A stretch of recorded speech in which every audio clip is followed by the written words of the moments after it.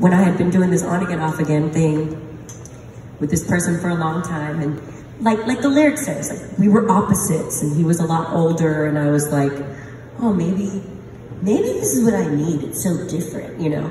But then I, after like a while, I realized, no, we're just not compatible. Like opposites attract, and like we had that that fire, but then also we just, I really think we weren't compatible. But then what, what ended up happening was we would agree that we would, you know, stop doing this thing, but then we'd always get back together. And I even started questioning myself, like, do I feel what I think I feel? Uh, I, I'm saying I don't think we should be together. I don't think we're compatible. I think we should stop doing this. And he'd be like, that's just your trauma talking. You don't know how to accept love. And I'm like, maybe. Oh, you know? Right. So I realized I was being gaslit, honey.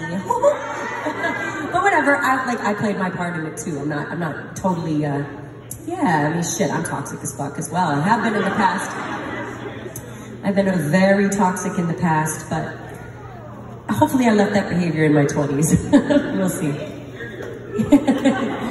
and um, so I, I, wrote this song kind of as like the final out.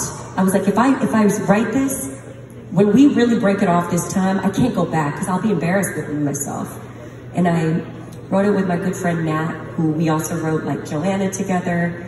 And so she, what'd you say? Oh, thanks.